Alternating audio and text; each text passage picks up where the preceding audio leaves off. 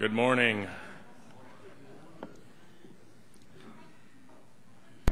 All elves and people, please sit down and we'll begin.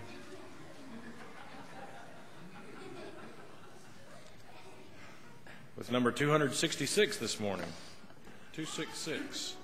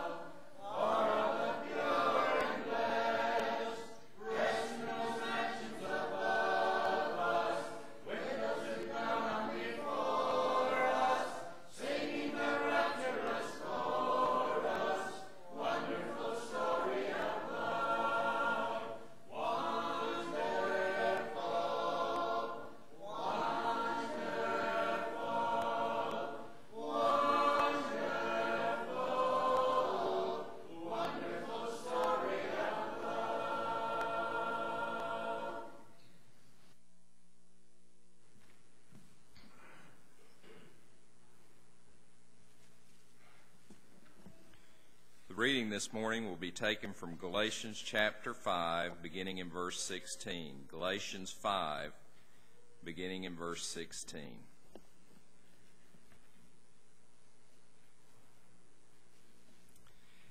This I say then walk in the Spirit, and ye shall not fulfill the lust of the flesh. For the flesh lusts against the Spirit, and the Spirit against the flesh.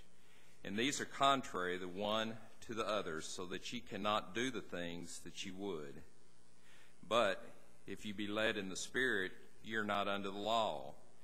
Now the works of the flesh are manifest, which are these adultery, fornication, uncleanliness, lasciviousness, idolatry, sorcery, hatred, contentions, jealousies, wrath, self ambitions, dissensions, heresies, envy, murders, drunkenness, reveling, and such like, of the which I tell you before, as I also told you in time past, that they which do such things shall not inherit the kingdom of God.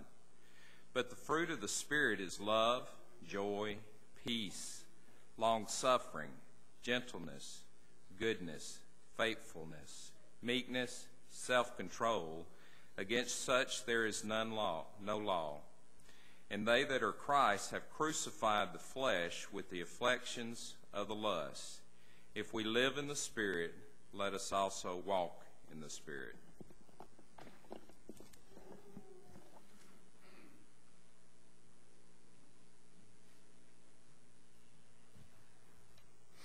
Let's pray. Heavenly Father, we thank you so much for this beautiful day you bless us with to be here, study your word. Pray that you'll be with us as we go to our classes this morning.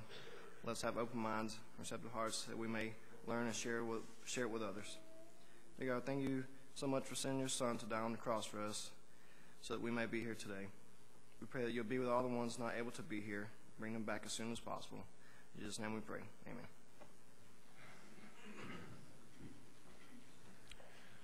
Good morning again, and welcome this morning to Bremen Church of Christ. We're grateful for your presence here on this rainy, rainy winter's morn.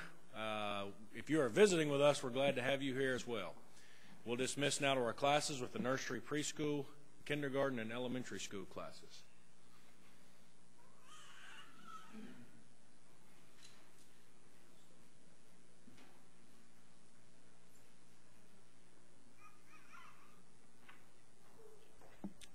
Middle middle school and high school, and adult classes as well. If you're in the class in the fellowship hall, come on in there. We're going to have to improvise a little bit. We'll figure it out.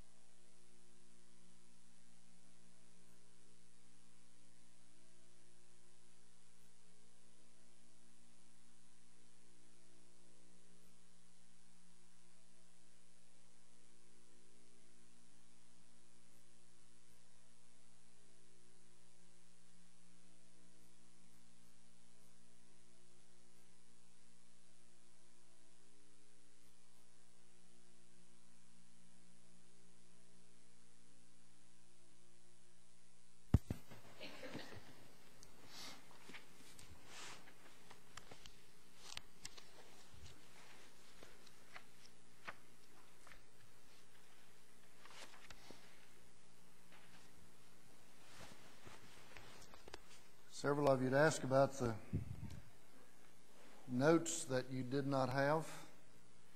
If I had passed them out and you missed them, no, I hadn't passed them out, so you didn't miss them. It's all Honey's fault. She's not here, so I can blame her. She should have had that done. but I should have gotten them to her to do them, so. But anyway, that's what you're getting at this point is the rest of the story. Chapter chapter 2, rest of chapter 2. First Peter chapter 2 is I want to study at this point.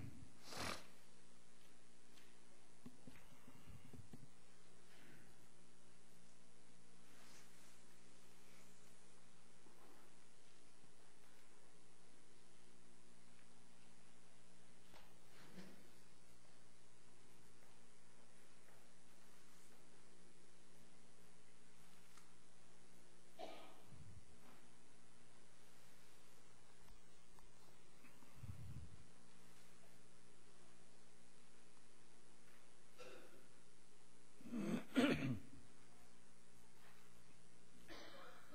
you, sir. Peter, in this letter, trying to encourage brethren who are under difficult circumstances to remain faithful to the calling that they have received and accepted, that is, to become children of God. He has encouraged them thus far by talking about the position that they occupy. Chapter 1 They are of the elect. They are children of God. They do have that inheritance that is incorruptible, undefiled, fades not away, reserved, ready, awaiting them if they will continue where they are.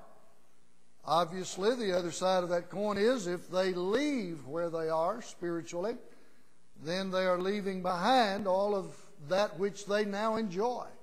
So he's encouraging, encouraging them not to give up because of the position that they occupy. In uh, chapter 2, then, we are talking about the people that they are. We've noted in first eight verses of chapter 2 that they are a spiritual people. Of course, Paul and Peter agree in what they're writing on this matter as well as other matters, but the point being that once we become children of God, our affections become different. Paul in Colossians chapter 3 said, If you then be, be risen with Christ, seek those things which are above, where Christ sitteth at the right hand of God. Set your affection on things above, not on things on the earth. And so, as Peter begins chapter 2, he talks about certain things that, that they are to lay aside, and obviously certain things that they are to strive for, specifically in this section, the Word of God, the milk of the Word, that they can grow thereby.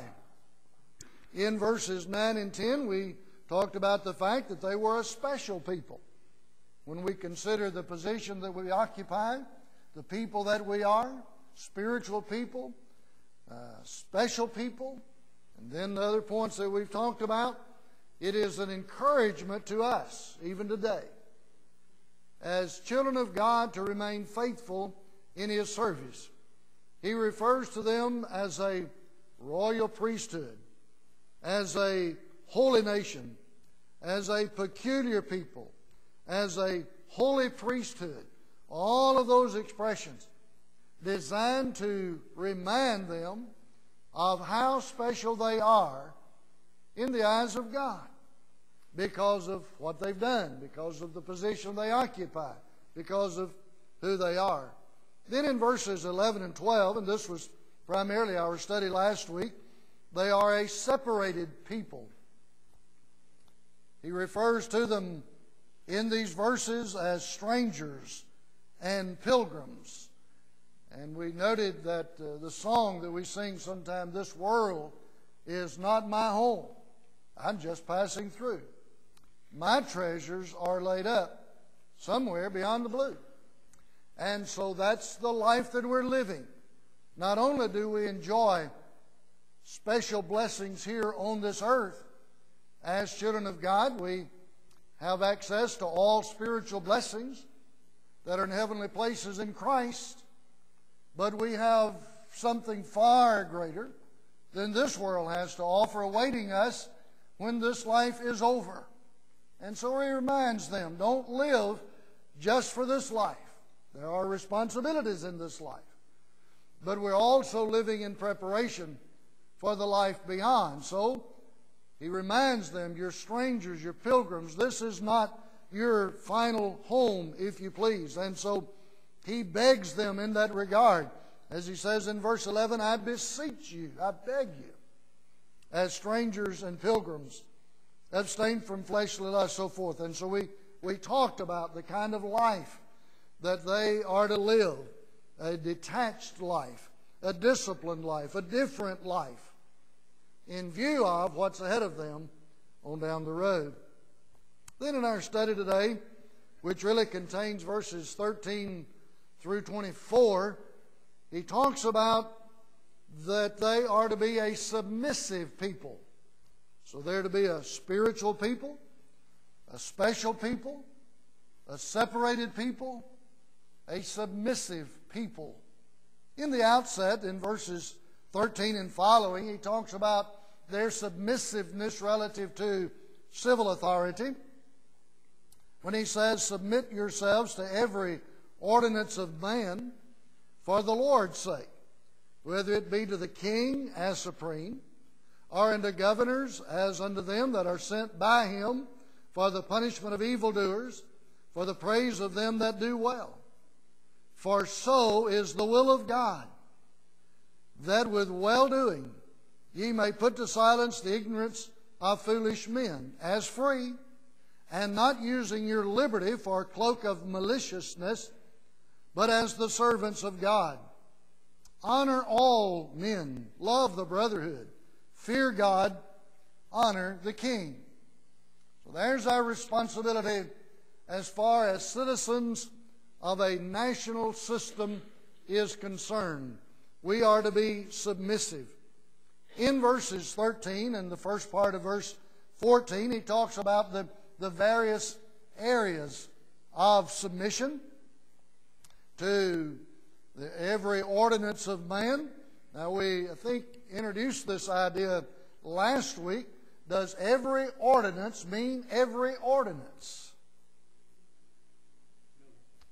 if we take that at face value, whatever man decides, we've got to be, we've got to be submissive to it. But we think back to statements and situations relative to the apostles. Peter and John, for example, were preaching and teaching the gospel of Christ. They were called into question. They were imprisoned. They were told, don't speak anymore in the name of Jesus. That's an ordinance of man.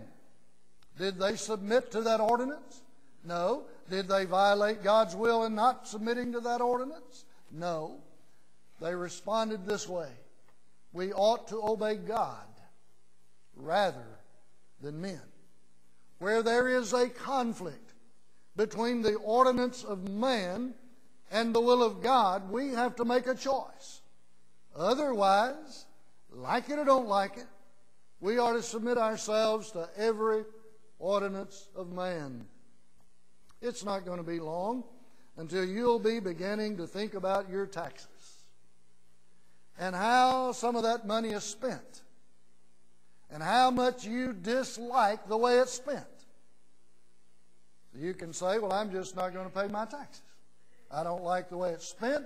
I don't agree with the way it's spent, so I'm not going to pay it. What's going to happen? They'll come get you. What's going to happen spiritually? You're going to separate yourself from God by so doing. Because what was it Jesus said during his ministry here? Render unto Caesar the things that are Caesar's, and unto God the things that are God's. The things that are God's. And so we have to understand what is the ordinance of man, what is the will of God. Where there is no conflict, we are responsible to submit ourselves to the ordinances of men. And uh, so that doesn't always set well. Do you think it set well with these people to whom Peter's writing? Do you think it set well to the people in the, uh, those seven churches of Asia who were being punished right and left under the influence of the Roman government? No. But what was their responsibility? Submit yourselves to every ordinance of man. That's the command of God. It's not up to us to decide if we like it or we don't. We can like it or not like it, but whether or not we submit is not left up to us. God has told us that's what we will do. And so to fail to do this would in effect blaspheme the Lord's name by our action. And so as he goes on down through, he explains part of that to us. You have a, a similar section in, in Romans chapter 13. We're not going to take the time to go back and read that section, but it's a parallel passage to what Peter writes right here relative to our subjection to civil government. In verses, latter part of verse 14 and verse 15, he talks about the, the aim of this, uh, this subjection to the ordinances of men. What, what's to be accomplished by it? He says, Unto them who are sent by him for the punishment of evildoers and for the praise of them that do well. For so is the will of God, that with well doing you may put to silence the ignorance of foolish men. It's interesting to note in verse 14 that he says, really, those who are of government are sent for what purpose? Two things involved here. And, and Paul makes the same two points in Romans 13. What is their purpose? To punish evildoers. And so, whenever the government, whatever that government is, is rendering punishment to those who have violated the law, they're doing it the very purpose of God. At the same time, to praise them that do well. So, if that is their purpose and they are serving their purpose, then what do we have to fear relative to civil government? Absolutely nothing. Absolutely nothing. You're out there on the interstate, you're running pretty fast. You round the curve go over the hill, see a state trooper sitting off to the side. What's the first thing you do? You take your foot off the accelerator and hit the brake. Just follow people down the highway and see what happens. Why? Why do you do that? If you're running the speed limit, what difference does it make who's sitting there and who's not? You don't have to fear. Now, if you're speeding, yeah, you're going to receive a ticket probably. But if you're not speeding, you're not violating the law, there's no, there's no thing for him to punish you. So why do you hit that brake? Conscience bothering you a little bit? You rob a bank, what do you expect? Expect them to come after you. Why? You violated the law. You haven't robbed a bank. You see the police coming, you hear the sirens.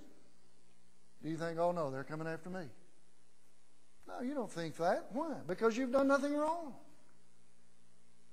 That's exactly what Peter's saying right here. As, as children of God, we submit ourselves to the ordinances of men, and we have nothing to fear. But if we do not submit ourselves, they are doing what God, in essence, wants them to do when they punish us. So we have no complaint, no gripe whatsoever. And again, Romans 13 is, is a parallel to that. But in addition to that, he says, This is the will of God, that with well doing ye may put to silence the ignorance of foolish men. So, so one of the points or aims of the, of the matter of subjection is by, by our own good conduct,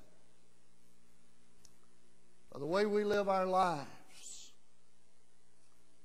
we can silence the ignorant. Now, whether these people are ignorant, willfully or otherwise, really doesn't matter here. But we can put to silence.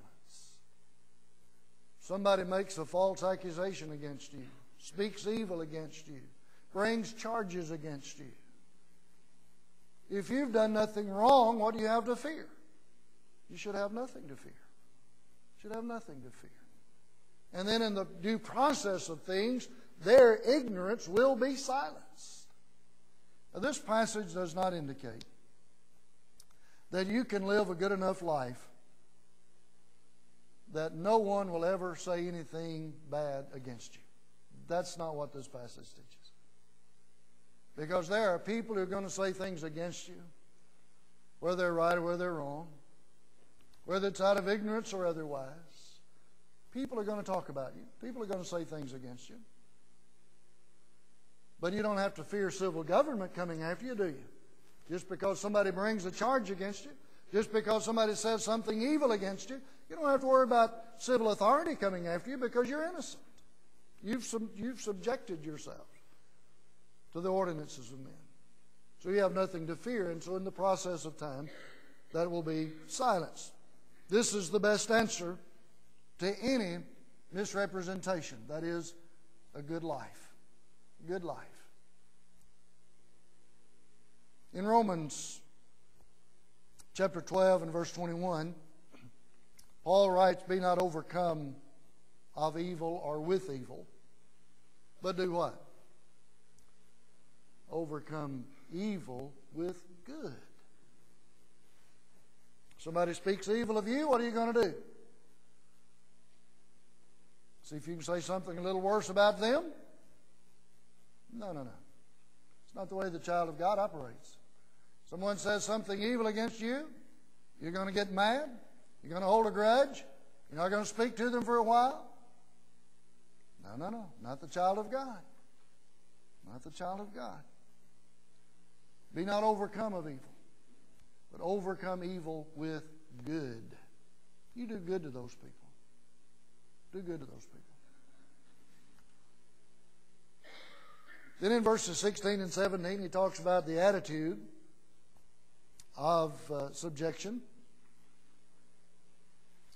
He says, as free, not using your liberty for a cloak of maliciousness, but as servants of God, honor all men, love the brotherhood, fear God, honor the king. So we're not to use our freedom in a wrong way. Free. Does that mean we're free to do anything and everything we want to, when we want to, how we want to? No. Because we're free, does that mean we can treat people any way we want to treat them? No. That's not what this freedom's all about. And again, and I don't, uh, yeah, did I put it in the notes? Galatians chapter 5, really the entirety of chapter 5 is a good section parallel to this, as Paul writes to the churches of Galatia. They are people who've been set free. Paul uses the word um, uh, liberty as well as Peter in this case. We've been liberated. We've been set free.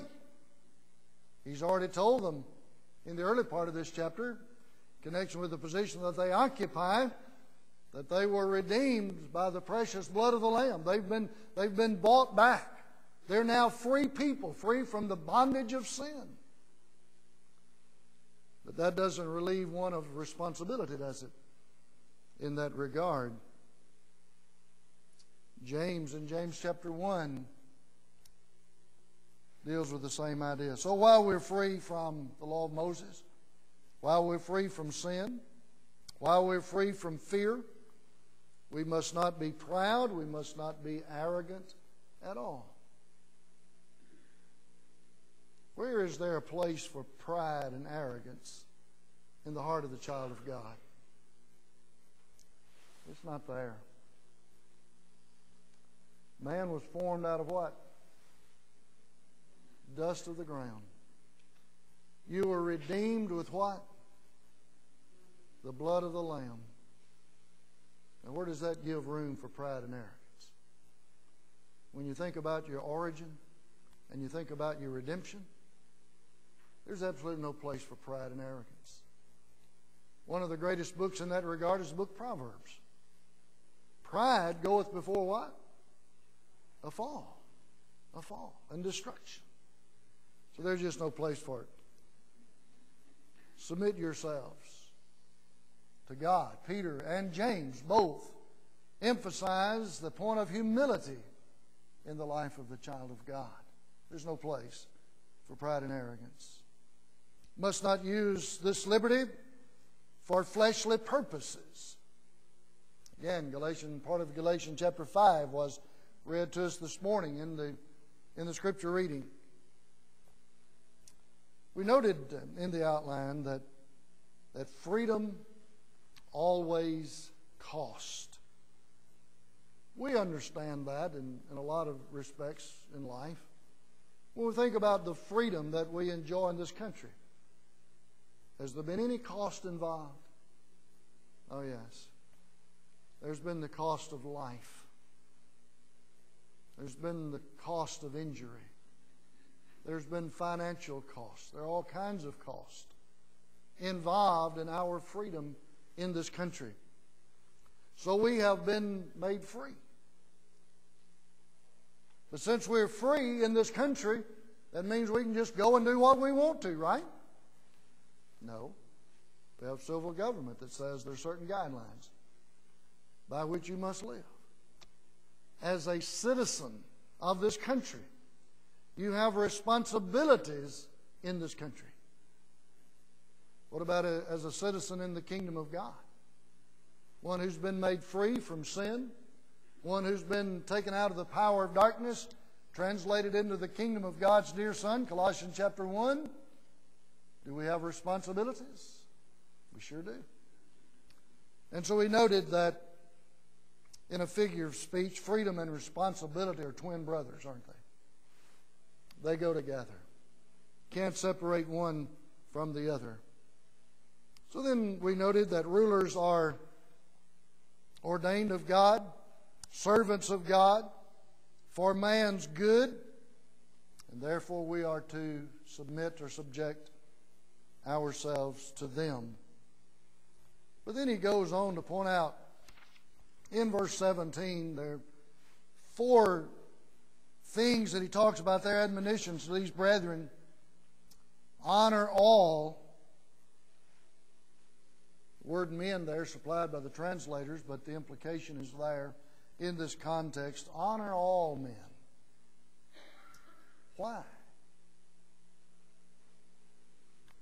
God said, Genesis 1 26, 27, let us make man how?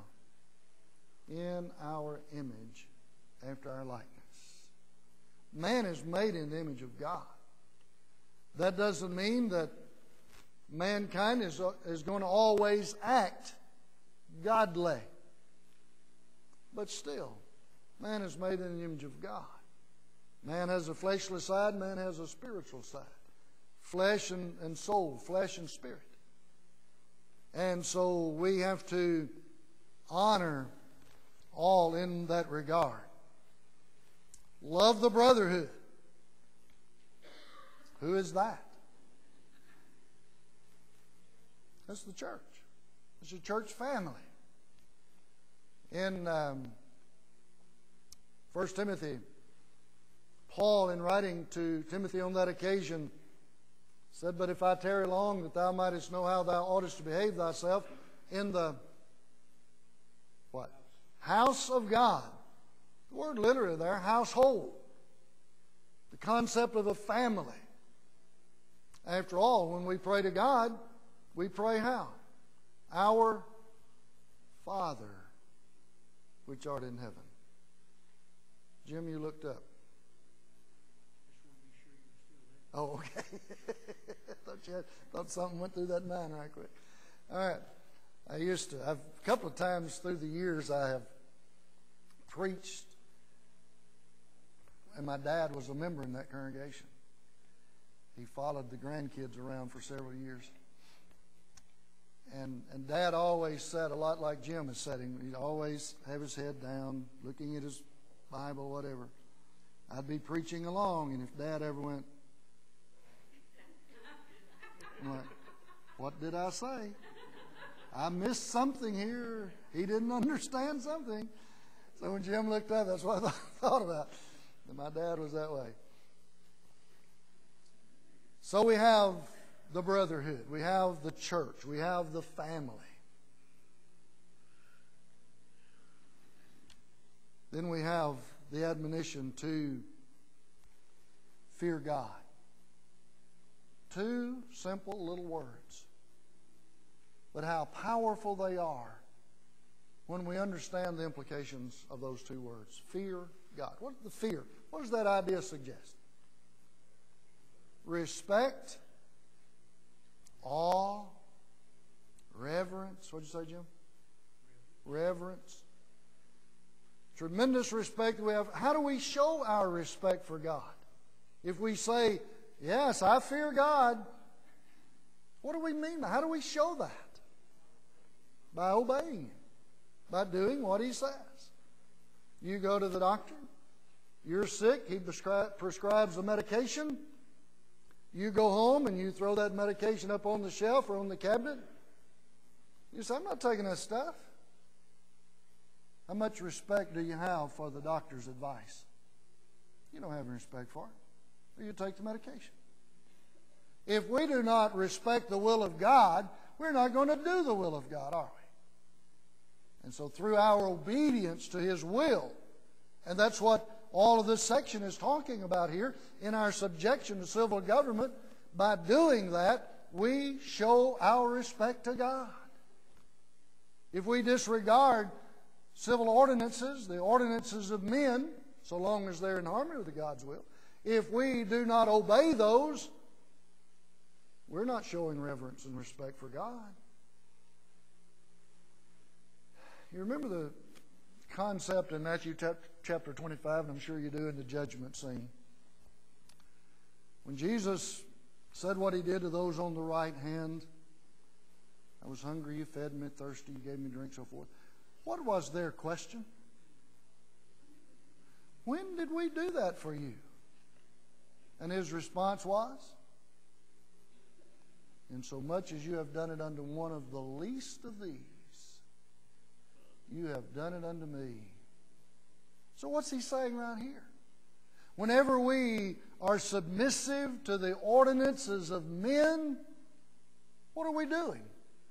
In essence, submitting to the ordinance of God, are we not?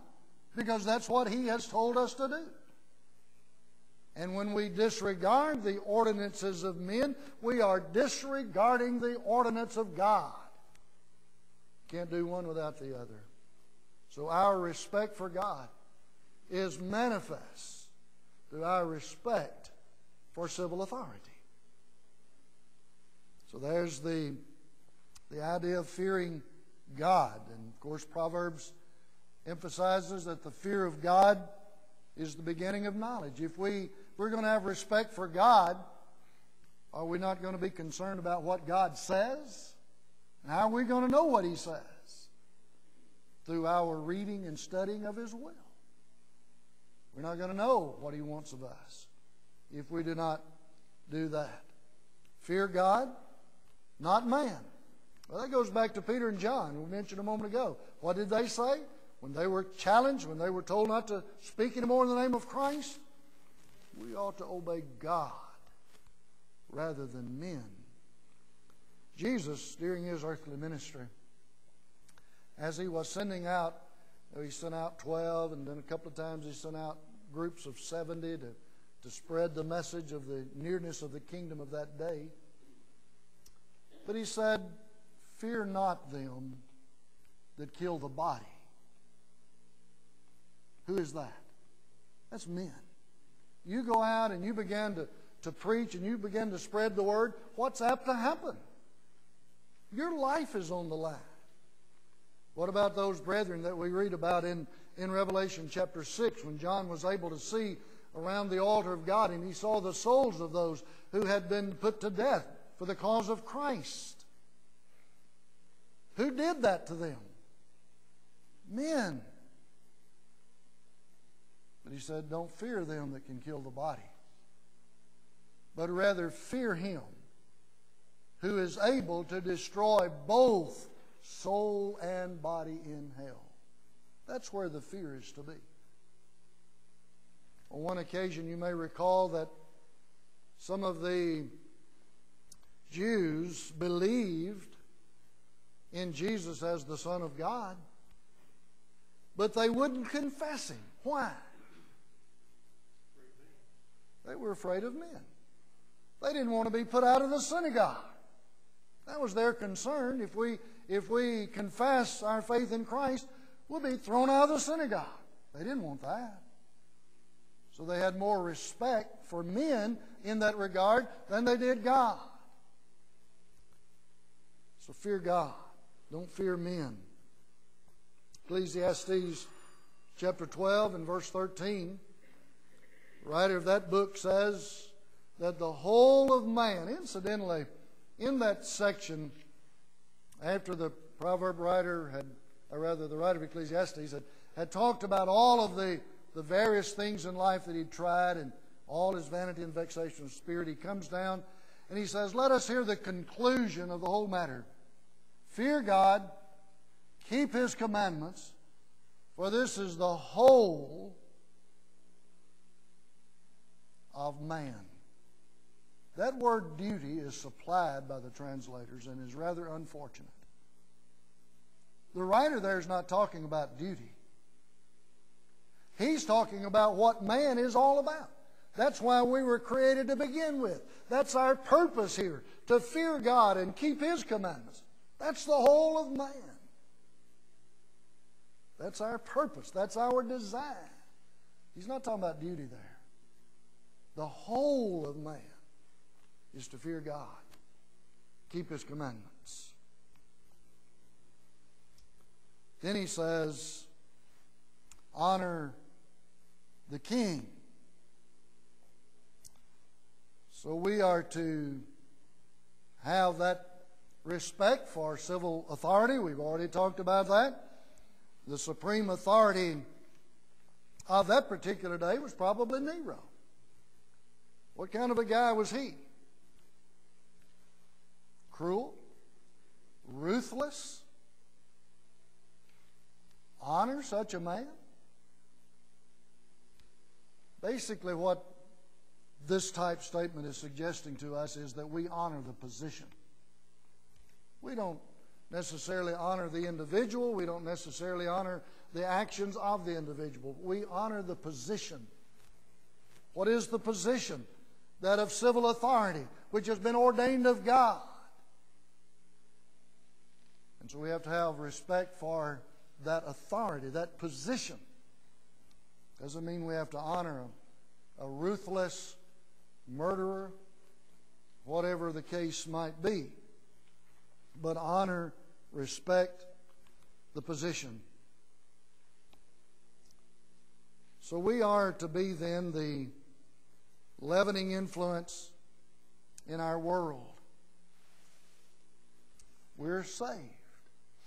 We're children of God. That's the position that we occupy. But as children of God, we have responsibilities, free from the law of Moses, free from sin, but still obligations, still responsibilities as far as civil government is concerned. So, as those who are saved, we are Christianity on display. When people look at us, do they see a true representation of what Christianity is?